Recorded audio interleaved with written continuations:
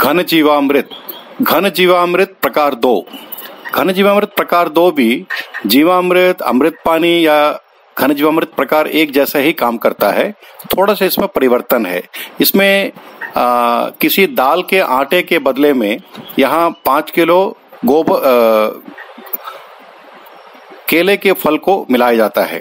इसमें जो आवश्यक सामग्री है सौ किलो ताज़ा गोबर पाँच लीटर ताज़ा गोमूत्र पाँच किलो पाँच किलो पका हुआ केला। कोई भी केला जो आपके घर के आसपास प्राप्त होता है, उसका फल का वज़न पाँच किलो नाप कर ले लें। एक किलो गुड़, खाने वाला गुड़।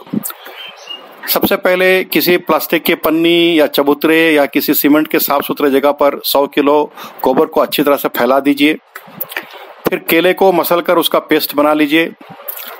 और एक एक किलो गुड़ को एक लीटर गोमूत्र में पीस कर अच्छी तरह से मिला दें और बचे हुए गोमूत्र को भी इसमें आपस में मिला दें।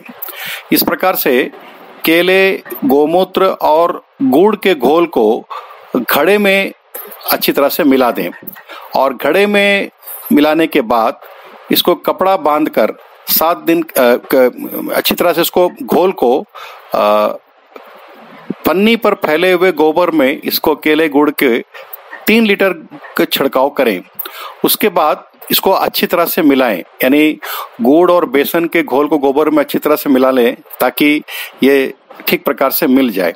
फिर बचे हुए तीन लीटर को फिर दोबारा इसके ऊपर छिड़काव करें और दोबारा छिड़काव करने के बाद फिर से गोबर को उसमें अच्छी तरह से सान दे और सानने के बाद में इसको मिलाएँ एक बार। मिलाने के बाद 24 घंटा छोड़ने से 24 घंटे के बाद इसका गोला बनाकर इसका थपिया या गोईठा या इसका आ, ये बना लें और उसको तीन दिन तक धूप में सुखा लें। तीन दिन में ये सूख जाएगा तो इसको इकट्ठा करके रख लें और आवश्यकता पड़ने पर चूरा करके खेत में छिड़काव करें।